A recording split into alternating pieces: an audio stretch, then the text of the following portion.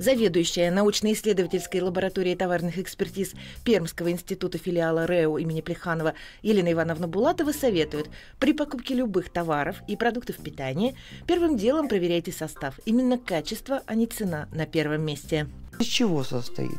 И если мы будем говорить о линейке молочных товаров, здесь у нас есть молоко, есть у нас э, там сыры, есть сырные продукты, да, э, есть кисломолочные, и точно так же есть просто продукты, если масло.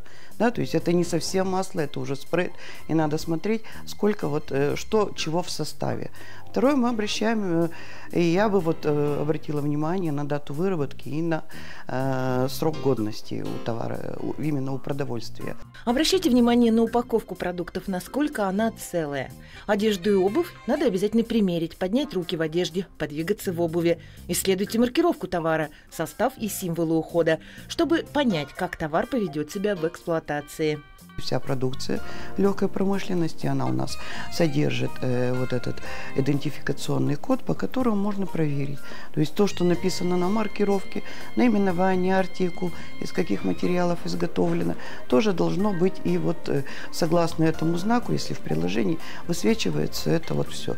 Мебель, техника, товары длительного использования, продукция дорогостоящая. И здесь тоже смотрим не только на цену, но и на качество. Законодательством предусмотрено назначение срока службы, по истечении которого комплектующие изделия могут выйти из строя.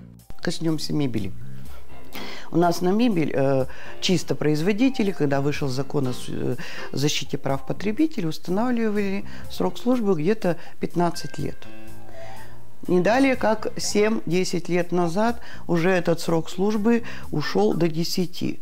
Последние вот исследования показывают, когда смотришь маркировку при выезде на экспертизу, уже 5 лет срок службы ставят.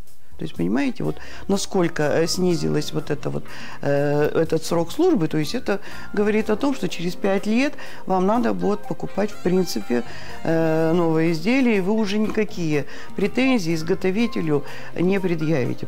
В пределах гарантийного срока ответственность за качество на продавце, в пределах срока службы на производителе, поясняет наш эксперт. А в последнее время и гарантийные сроки непродовольственных товаров снижаются.